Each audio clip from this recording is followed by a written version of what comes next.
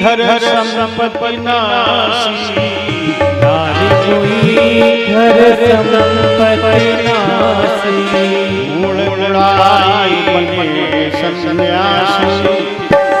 बने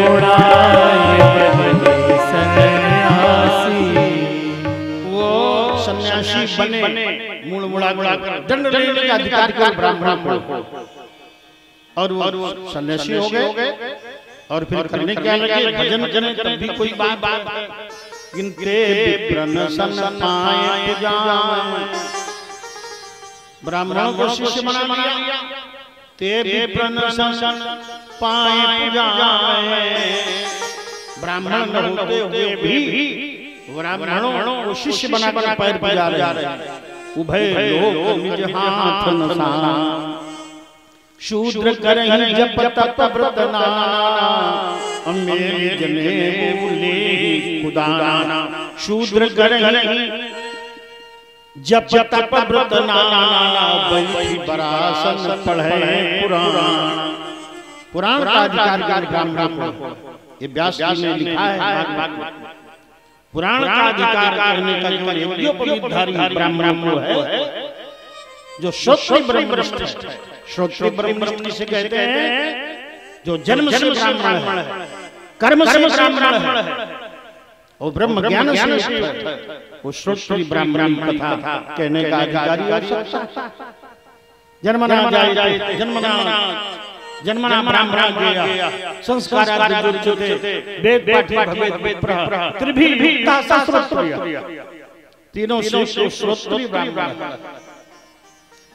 तुम्हारा कलिकाल में ऐसा होने लगा इसलिए कथा शास्त्र होने लगा। जब अनधिकारी कथा कहने लगे तो कथा का तत्व नष्ट होने लगा। नारद जी कहते हैं।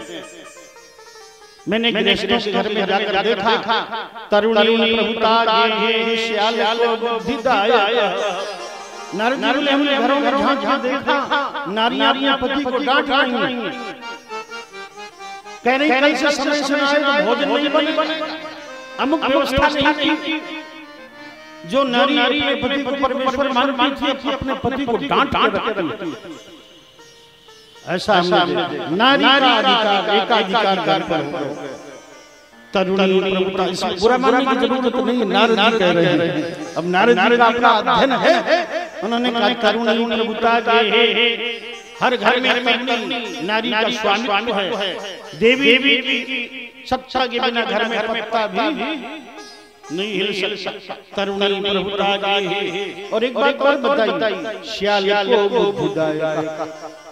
सगे भाई से अपने मित्र से परामर्श नहीं करेंगे। लेकिन साले लोग सलाहकार साले लोग सलाहकार श्याल को बुद्धि देता वो परामर्श देता विशेष सलाहकार कन्या मित्रिणो लोभा दंपति नाम कलकनम कुछ लोभी लोग कन्या को बेचने लगे। और दंपति नाम से कलकलम पति पत्नी लड़ने लगे अन्य में पति पत्नी लड़ते थे। बड़े प्रेम से रहते थे। कलयुग में घर घर पति पत्नी की लड़ाई छिड़ी। दंपति नाम से कलकलम। बड़ा कलह घर में मचा दंपति नाम से कलकलम। अट्टशूला जनपदा नाना प्रकार के।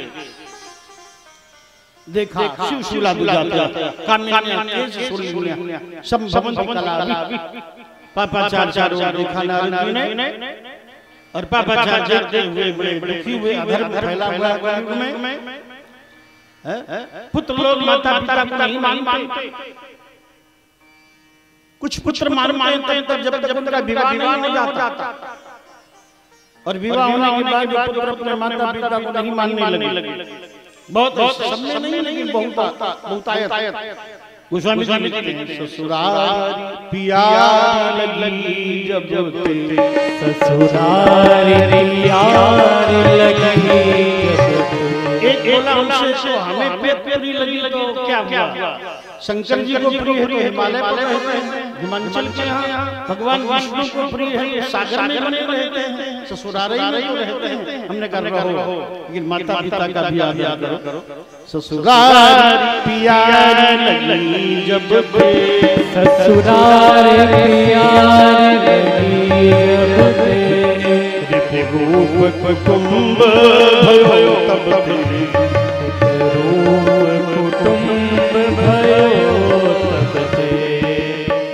अच्छी बात आज से 500 वर्ष पहले तुलसी बाबा ने लिखी कि ससुराल की प्यारी लगने लगी तो घर के लोग दुश्मन की तरह दिखाई पड़ने लगे। सुत मान मात पिता तब लो अब भीख नहीं जब लो जब तक अबलाना चंद्राना का मुख नहीं देखा तभी तक माता पिता को मानते हैं। इसके बाद में माता पिता से दूरी बढ़ा ऐसा कलयुग में हुआ। और होता है। अब सब में नहीं होता लेकिन अधिकांश होने प्राय। ऐसे ऐसे देख कर नारद जी बड़े बड़े दुखी हुए। और दुख से व्याप्त होकर नारद जी बोले चलो चलो वृंदावन चला जाए एवं पश्यन् पर्यटन यानम ततमापन्नो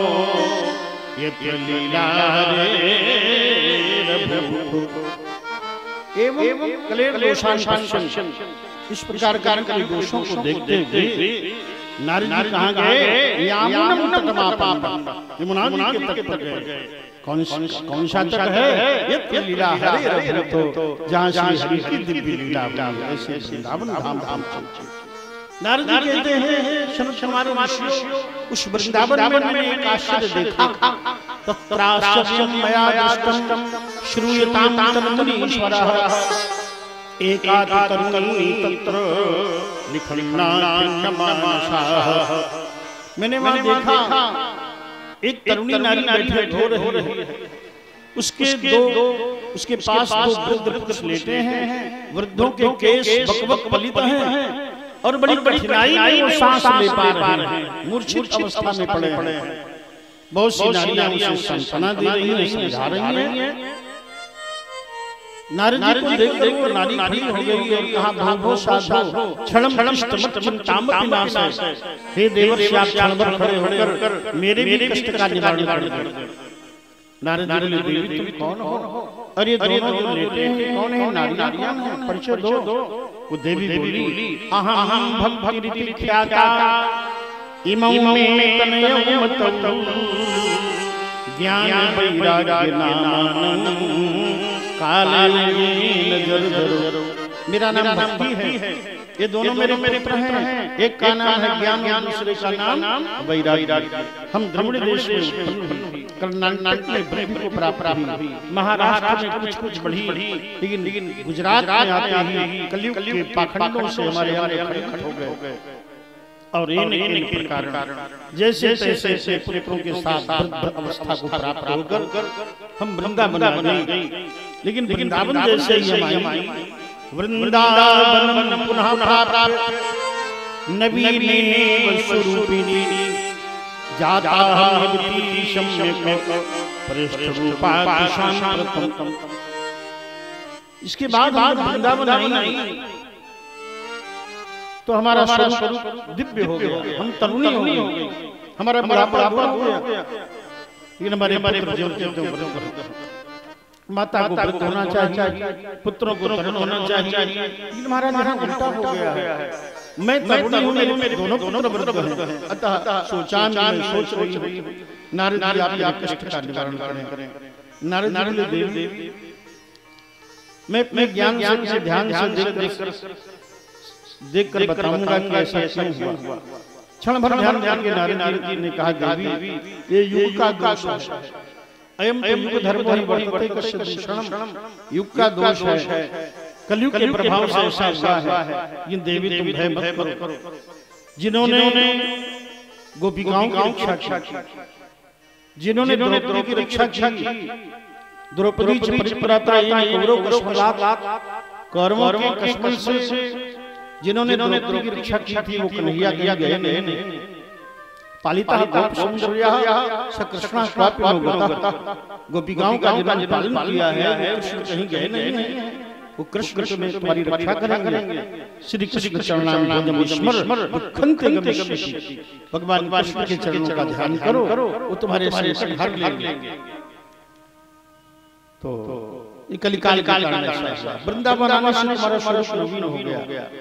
वृंदावन से संयोगा पुनस्त्वं तरुणीनवा धन्यं वृंदावन भक्तिर्नित्यति यत्र च वृंदावन के आने से वृंदावन आने से तुम्हारा स्वरूप नवीन हो गया।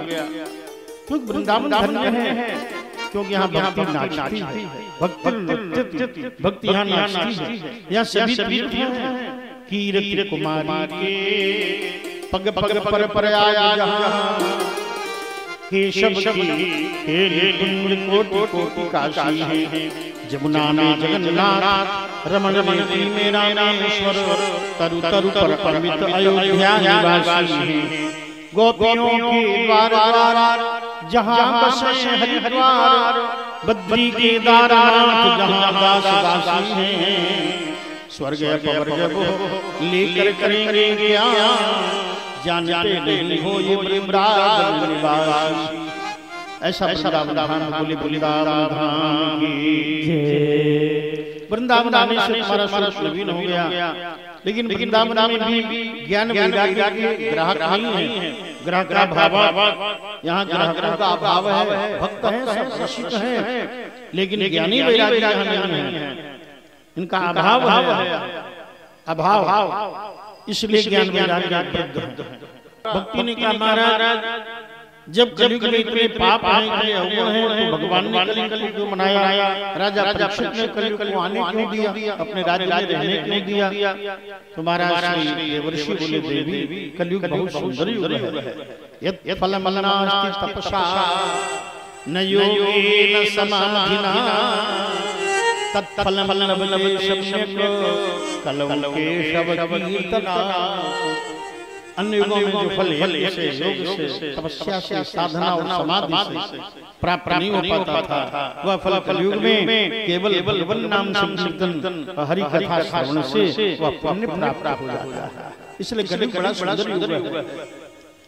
जो सतयुग में नहीं कर पाए जो त्रेता में नहीं कर पाए जो द्वापर में नहीं कर पाए उन्हें तारने के लिए भगवान ने कलयुग बनाया।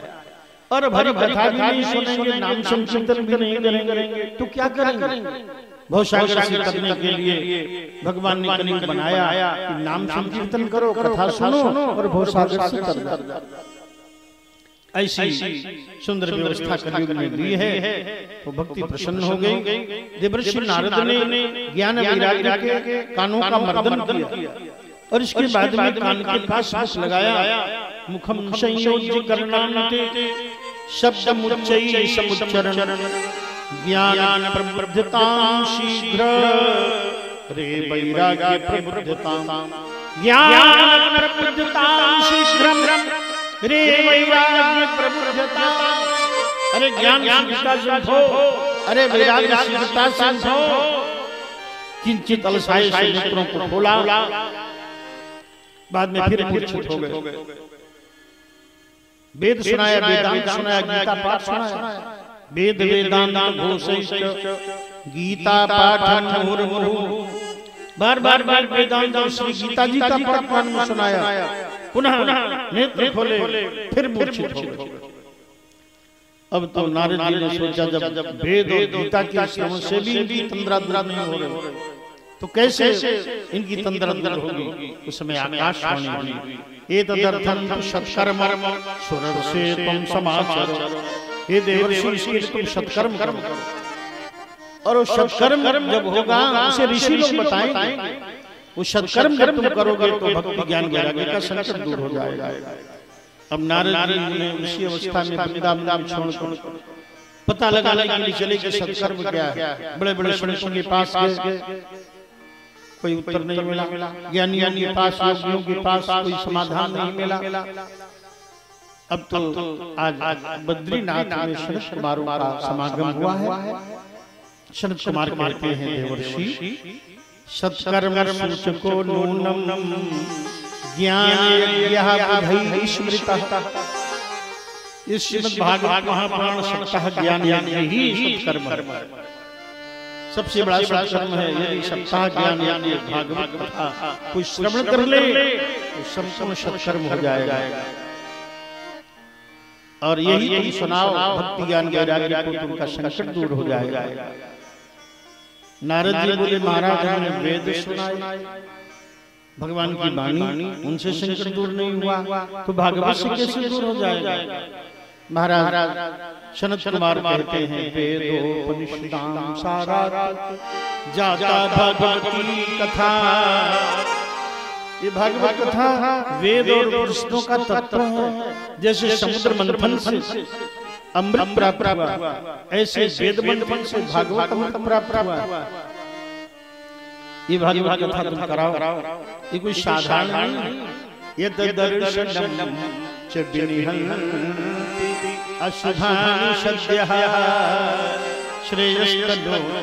भवदुःखद्वार्ता निशेष शेष मुख गीत कथई कपा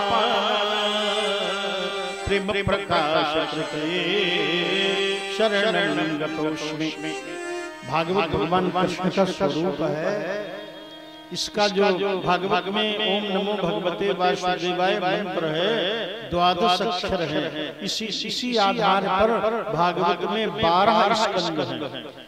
बारह अक्षर का मंत्र है तो बारह स्कंद हैं। और देखो ये भगवान के बारह अंग हैं भागवत में। स्कंद। ये जो प्रथम स्कंद है ये भगवान कृष्ण का तलवा है। द्वितीय स्कंद भगवान का गुल्फ है। एंडी और घुटने के बीच का भाग गुल्फ कहा जाता है। तृतीय है भगवान कृष्ण का चतुर्थ स्कंद जंघा है पंचम स्कंद कटि प्रदेश है, खष्टम उदर है, सप्तम हृदय है। अष्टम स्कंद वक्षस्थल है नवम स्कंद भुजाएँ हैं और दशम स्कंद भगवान का मुख है। एकादश ललाट है, द्वादश मूर्धा है। ये संपूर्ण भागवत भगवान कृष्ण का शरीर है। इनके दर्शन मात्र से पाप नष्ट होते यद दर्शनम। भागवत का पूजन भगवान कृष्ण का पूजन है भागवत का श्रवण भगवत वाणी का श्रवण। सब पापों को नष्ट करने वाला। अशुभान पापों को नष्ट करता है। श्रेष्ठ जीवन का श्रेय भक्ति और मुक्ति प्रदान करता है। शेषनाग जी ने एक बार हज़ार मुखों से हज़ार वर्ष भागवत ही लेकिन भागवत पूर्ण नहीं कर पाए। ऐसा भगवान के प्रेम का प्रकाश भागवत सहज में प्राप्त नहीं होता था। भाग्योदयेन बहुजन्म समर्जितेन सतसंगमम च पुरुषो लभते यदा। अज्ञान कृतमोह मदांधकारम नाशं ही विवेक। तदो दयते ही विवेक। भाग्योदय ने बहुजन्म समर्पित बहुत जन्मों का समार्जित भाग्योदय जब हो जाता तब भागवत सुनने को मिलती है। पापों का विनाश होता है भगवत प्राप्ति होती है। तब नारद जी ने गंगोत्री का जल अपने हाथ में लिया। बद्रीनाथ में है वहाँ गंगोत्री है। तो गंगोत्री का जल अपने हाथ में लिया और वहीं पर संकल्प किया ज्ञान यज्ञम करिष्यामि सुख शास्त्र कथोज्वलम भक्ति ज्ञान विरागाम स्थापनार्थम प्रयत्नतः इस धरा पर भक्ति ज्ञान वैराग्य की पुनर्स्थापना के लिए मैं श्रीमद् भागवत ज्ञान यज्ञ अवश्य कराऊँगा। और ऐसा संकल्प लेकर आए। शरद कुमारों से पूछा महाराज कहाँ कथा करावे? तो उन्होंने कहा हरिद्वार बहुत सुंदर आनंद तट है। वहाँ भागवत कराओ। गंगा द्वार समीपित तटम आनंद नामकम। गंगा जी के तट पर आनंद नामक तीर्थ में इन्होंने आनंद तट पर भागवत कथा की रचना कराई पंडाल की रचना कराई। और वक्ता के रूप में व्यास पीठ पर शरद कुमार जी को आशीन किया पूजन किया और उसने भागवत सुनने के लिए। जो वैष्णव हैं जो ज्ञानी हैं जो भक्त हैं वो पहले ही ही आ गए। श्रीमद भागवत पीयूष पाना ऋषि का रस भागवत पीयूष अमृत का पान करने के लिए पहले ही वैष्णव लोग आ गए। पहले ही की कथा कहीं छूट न जाए। एक, एक चरित्र भी एक श्लोक भी छूटा तो फल कल जाएगा। इसलिए पूरी पूरी कथा सुनने के लिए पहले ही से आ जाते वैष्णव वैष्णव जन और साधारण लोग नहीं आए सुनने बहुत बड़े बड़े बड़े ज्ञानी बड़े तपस्वी लोग सुनने आए हैं। अत्रि वशिष्ठ श्यवनाश्च गौतमो। मेधातिथिर्देवल देवरात्। रामस्तथा गादिसुतश्च शाकलो व्यास योगेश्वरव्यास पराशरौचे छाया पूजाञ्जलि जन्मुख्या सर्वे मुनिगणा सह पुत्र शिष्या। स्वस्त्रीभिराय युवती अत्रि जी वशिष्ठ जी अत्रि वशिष्ठ गौतम देवल देवराज भगवान परशुराम विश्वामित्र मेधातिथि देवल आश्विन भरद्वाज गौतम पिपलायन आदि ऋषियों का पदार्पण हुआ। योगेश्वर वेद व्यास आए छाया देव आए जानजलि आए जन्म आए। और देखो चारों वेद मूर्त रूप में वहाँ विराजमान हुए। सभी तीर्थ गंगादि सरिताएँ वो सब वहाँ विराजमान हो गए। और इस प्रकार से वहाँ पर समस्त धाम समस्त तीर्थ श्री हनुमंत लाल लाल महाराज सब वहाँ विराजमान हो गए। ये शाश्वत है। ये अनादि है। जैसे गणेश जी अनादि है। ऐसे रुद्रावतार भी अनादि है। शाश्वत है। ये सब विराजमान हुए। और वहाँ पर आज ऐसा दिव्य दृश्य। बैकुंठ पूरा उतराया देवलोक उतराया सिद्ध लोक उतराया तपलोक सप्तलोक सब उतराए और उस समय श्री भागवत कथा का वर्णन करते हुए महाराज व्यास से आचार्य प्रवर कुमार ने कहा देखो आजन्म मात्रमपि एन शठेन किंचिद चित्ते विधाय शुकशास्त्र कथा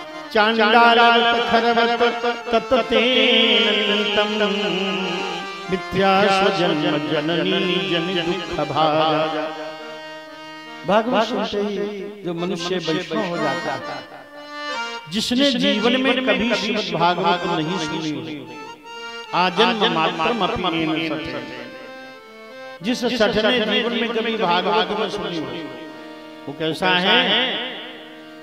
का वो तो खरबर चंडाल चंडाल के समान है खरबर भारवाही पशु के समान अपनी माँ के गर्भ में भार स्वरूप हो गया। धिक्तम नरम पशु समम। भविभारभूतम एन श्रुतम सुख शास्त्र कथा कदाचित। जिसने कभी महाराज सुखदेव द्वारा बड़े भागवत नहीं सुनी है। उसे धिक्कार है पशु समम। वो पशु के समान है भार रूप है पृथ्वी पर भारत स्वरूप है। सुख शास्त्र कथा कदाचित जिसने कभी ये सुखदेव की भागवत कथा नहीं सुनी। भागवत की महिमा का वर्णन करते हैं सनत कुमार। उसी समय आकाश से भक्ति उतर रही है। भक्ति के पुत्र ज्ञान वैराग्य पुष्ट हो गए तरुण हो गए। भक्ति सुतौ तरुण गृहीत्वा प्रेममय सहसा विराशितो श्री कृष्ण गोविंद हरे मुरारे। श्री कृष्ण गोविंद हरे मुरारे नाथे नामानि मुहुर्वदन्ति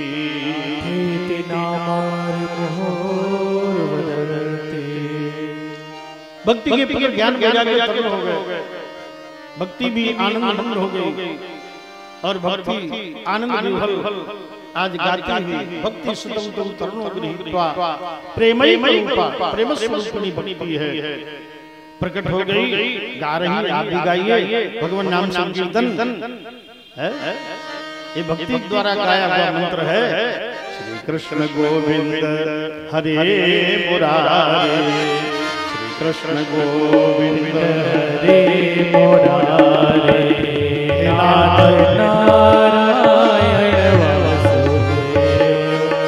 कृष्ण गोविंद, हरे मुरारे।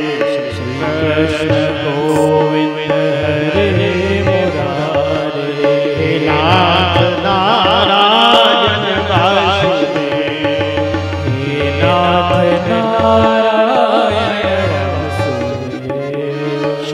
कृष्ण गोविंद हरे मुरारे।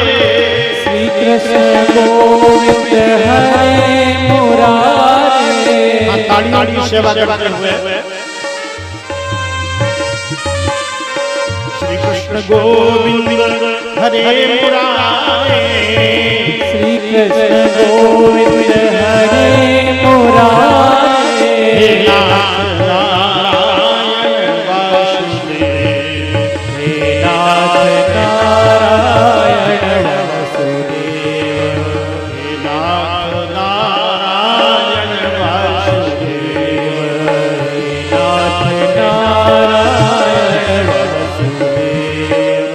गोविंद राधे राधे गोविंद राधे।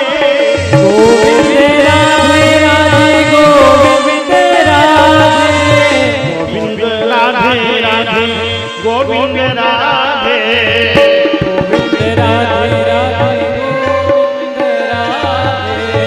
राधे राधे गोविंद राधे राधे गोविंद गोविंद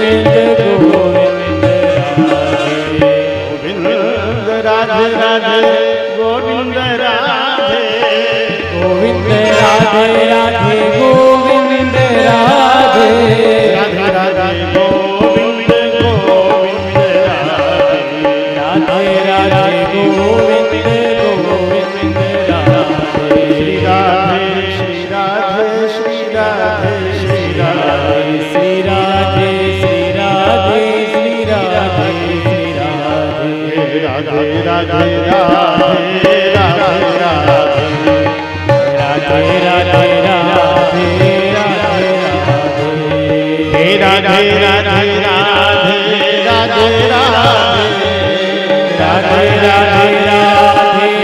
राधे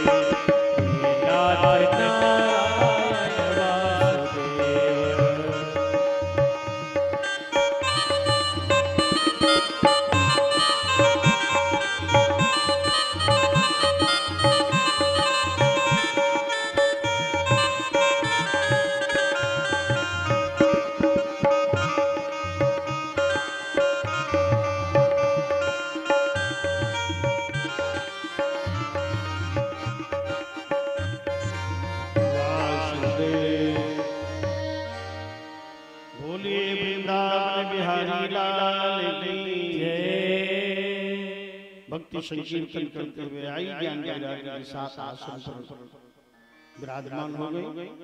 ये पशुपतिनगर यशोदानगर की धरा धन्य है। जहाँ पर भक्तों ने ये दसवां वार्षिकोत्सव मनाना प्रारंभ किया है। और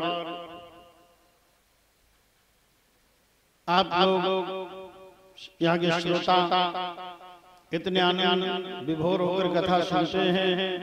मुझे बहुत प्रिय है।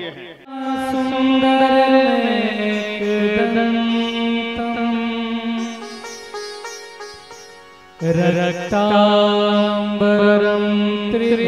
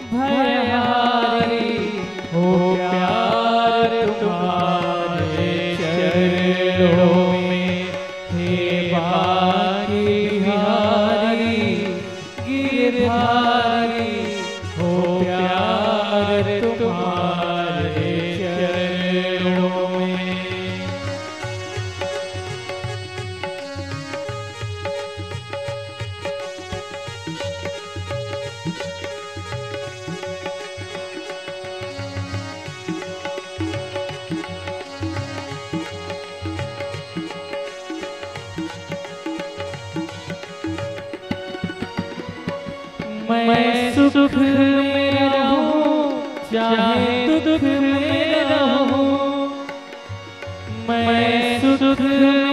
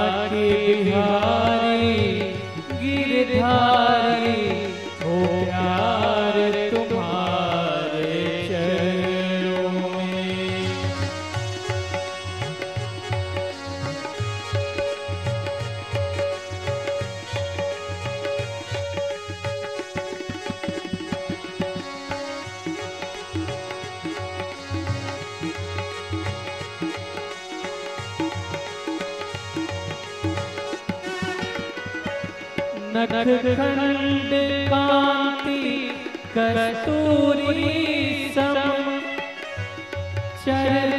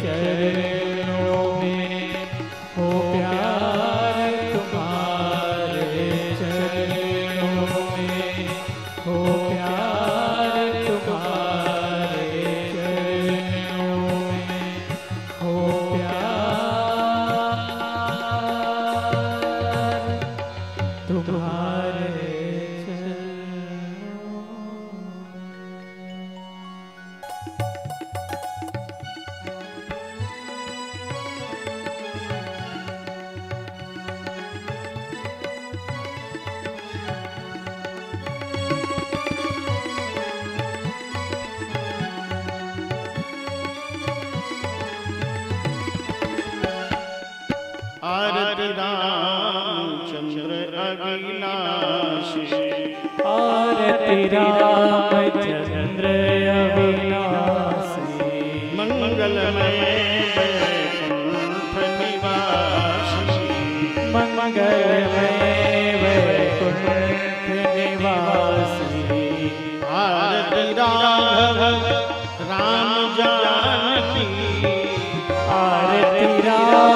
भव आम जानकी अनुज सहित श्री हनुमान की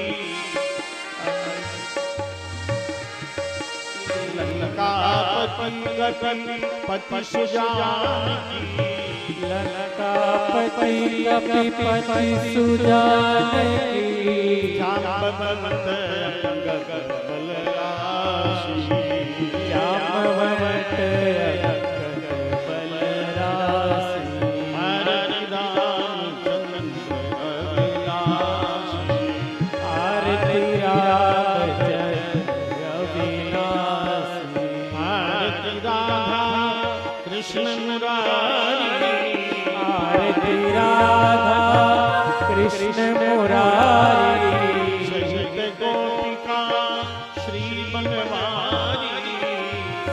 नट गोपिका श्री बनवारी।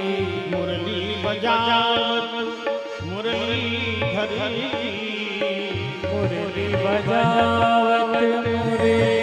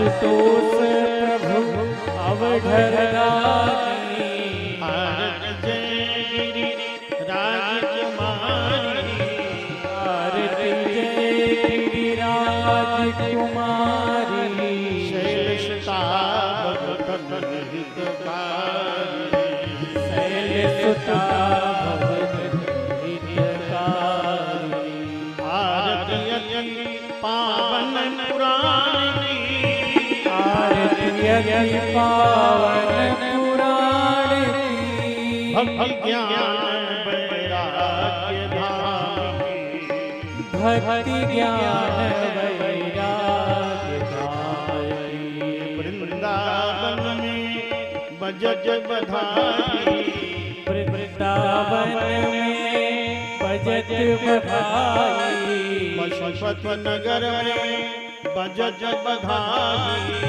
पशुपत नगर में बजत बधाई। यशोदा नगर में बजज बधाई। यशोदा नगर में बजत